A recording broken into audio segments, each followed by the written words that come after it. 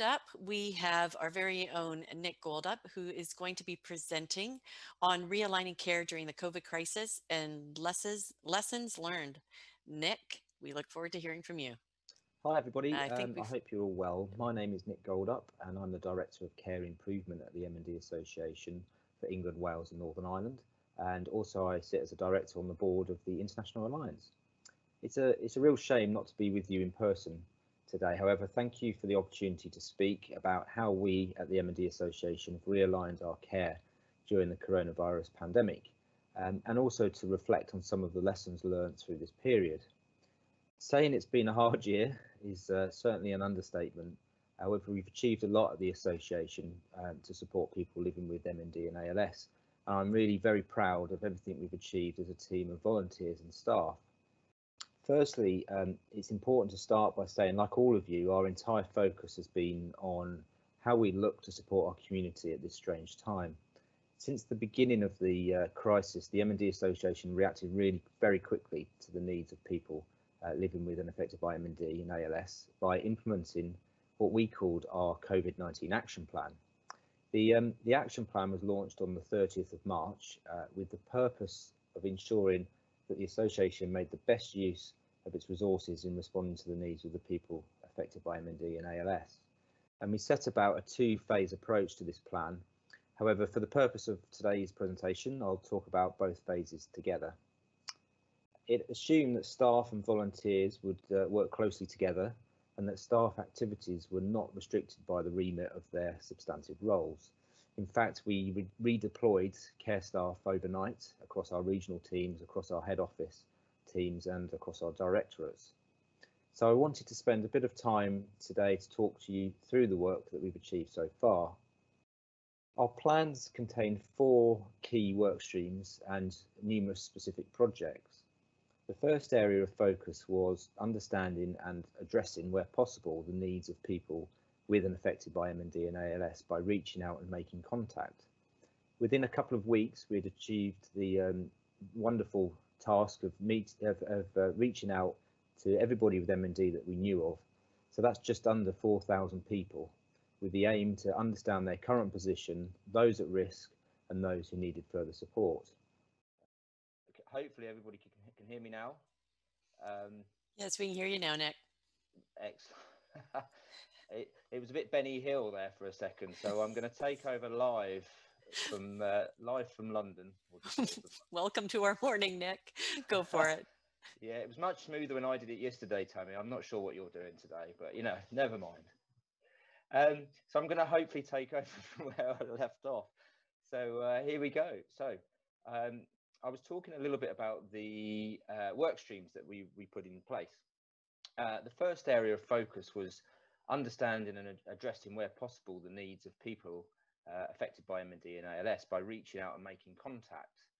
So within a couple of weeks, uh, we'd contacted everyone uh, with MND that we knew of. Uh, that's just under 4,000 people uh, with the aim to understand their current position, um, those at risk and those who need further support. And this was carried out mainly through uh, the telephone. Um, and a lovely statistic to share with you is that 80% of the contacts we made uh, were through the, our wonderful volunteers. Um, we also sent out over 4,000 letters and emails to people with MND and ALS, which included links to specific coronavirus uh, resources uh, and an offer to support from the association. And a key trend that we saw uh, from this outreach was the desire for ongoing support from our community. And in, in fact, as a result of this, we uh, now support between 1,000 and 1,500 people with MND and ALS each month who've requested this ongoing support from the association. And during the month of October, uh, 1,326 people uh, contacted, uh, sorry, were contacted by the by association staff and volunteers, and that's about 34% of people that we knew, and 84% of these contacts were made by volunteers. Um, feedback has been brilliant, and uh, just to give you a recent quote, somebody mentioned to us, somebody living with MND said, "Your calls every week have been the one constant with all the things going on." So thank you for your wonderful support. The, um, the ongoing contacts uh, with our community also identified support needs and clinical questions uh, that we as an association just really, we needed help answering. And for this, we turned to the experts uh, by creating a clinical expert panel made up of a team of uh, wonderful neurologists and health professionals who gave us access to their insight and advice on a weekly basis. And, and people needed to know what was happening. They needed to know how it would affect them, how it would uh, affect their care and impact on their loved ones. And this group provided an expert platform to help answer this. And the feedback our, from our community um, has been fantastic, and we've been able to provide that through, through our website. Uh, we also invited experts to talk through um, expert interviews and discussions, um, which was an informal virtual set of videos to help answer some of the key questions. Uh, and this was, uh, again, very, very well received by our community. So as well as reaching out, the second um, section of our work was to understand and address the health and social care landscape. So in other words, how the situation impacted on services for people living with MND and ALS, and then using our networks to advise this to our community. Um, we wanted to understand the impact on, on services across the 22 care centres that we have in England, Wales and Northern Ireland and across the multidisciplinary care teams. Um, so we therefore used our regional uh, staff to make contact with all of the centres and coordinators and MDTs and health professionals in a coordinated way. And this was to identify and understand their current provision uh, by the clinical teams locally and also understand the multidisciplinary teams specifically on areas such as respiratory and nutrition, palliative care and, and social care. And this allowed us to have a, a up-to-date advice at a local level and also to put and to flag any potential issues, uh, working with local health systems to make sure standards of care for our community were maintained. Um, thirdly, by supporting people with an affected by MND through practical and emotional support. So this was carried out through one-to-one -one group conversations delivered through staff and volunteers, uh, including conversations on the phone and video calls, signposting to other services and other social uh, virtual networks online. Um, and they, they included things like mindful and meditation sessions, Tai Chi, uh, breathing, meditation, and fitness uh, videos as well. And that was particularly useful for, for our carers. Um, we also launched some really practical ways of support. Uh, and the, probably the, the, best one to talk to you about is the emergency grant provision that we had.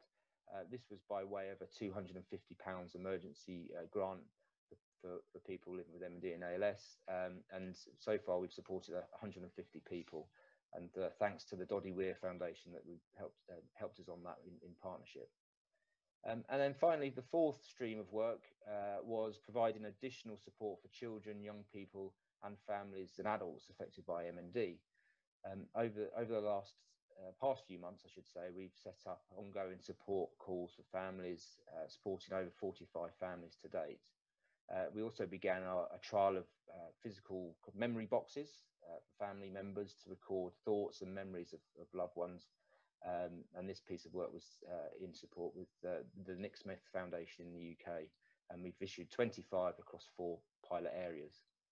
And just last month, uh, we launched a, a, lovely partnership with the UK charity Barnardo's to provide online and telephone counselling to children, young people, and families, which is just terrific. And we look forward to seeing how that progresses. Um, and to promote all of this work, we produced an online COVID hub on our website, which was a go-to place for content and advice, including specific animations, videos, and blogs. And uh, do go onto the MND Association website and have a look at that. So all in all, not too bad for a, a few months, but we're uh, we're an impatient bunch. And the last uh, sort of few months, we focused on some other areas um, more specifically. So we knew from feedback that we needed to focus more on, on carers um, it took a, a, crisis to concentrate our efforts, but I'm really glad that we did. So our commitment to carers project launched in June, and since then we've been working and gathering information about local support services with a total of 85 information grants, uh, sorry, information guides, I should say, which have been produced. And this is local information guides to talk to our local communities about um, support for carers in their community. Uh, we've also developed peer support groups online uh, hosting information and wellbeing events online and talking to carers about what support needs that they want from us. And to bring this to life a little bit, cumulatively from June until October this year, uh, 616 participants have attended 67 groups supporting on support to carers. Um, and finally, just to say that I, I, would like just to talk a little bit about emerging themes and, and the world is changing, it feels, on a daily basis and the, day, the direct impact on health provision is, is vast. So we are making it our aim to continue to stay close to all the key issues.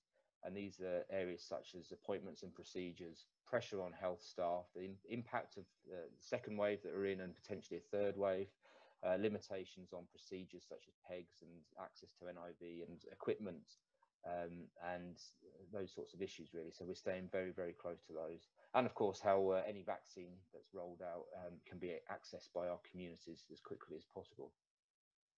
Um, so what have we been, so we've been working hard, uh, delivered a lot for our communities, uh, but but what have we learned? And I, there's a, a, small handful of things just to sort of reflect on really. So I think in summary, the first one is the speed of learning and change has been obvious. So in terms of uh, reactivity to the crisis, we, we wrote a strategy and redeployed staff within a week. And it just goes to show how quick we can we can move as an organisation. Uh, it took a pandemic, but uh, we are impatient and we can react really, really quickly when when we when we want to. Uh, virtual support is probably here to stay in some form at least, um, especially as it removes the barriers of geography. Um, albeit there is a time and a place for virtual and face-to-face -face meetings um, as well. Uh, and digital is not a substitute for, for real life, but um, I think that's going to be uh, part of our future going forward. Thirdly, we discovered that our services can change. So, for example, our, our helpline, the MND Connect helpline, now proactively calls out to people living with MND and ALS rather than being a reactive helpline. Uh, and we've also learned how we can utilise our volunteers uh, more, for example, to support through direct contact with people. And finally, communication. We can all, you know, uh, we can and we will engage differently going forward. Um, and we, I've talked about the expert panel, which uh, you know previously we met twice a year. Now we can access that group weekly. Plus, we've got lots of internal and external ways of communicating through vlogs and podcasts and webinars and all the other words that we didn't know existed a year ago. Uh, we can use all of those um, in different ways to, to communicate. So I, I, hope this has been useful and informative. Um, of course, happy to speak to anybody after this about uh, what we've done in more detail and provide examples. And um, like I say, please look on the MND Association website. Uh, it's been a tough and busy year. However, during this period, I think our volunteers and our supporters and our staff and the support of the International Alliance has just been incredible. And I know that this this continued help will continue to deliver great services for people with MND and ALS communities in, in uh, England, Wales and Northern Ireland.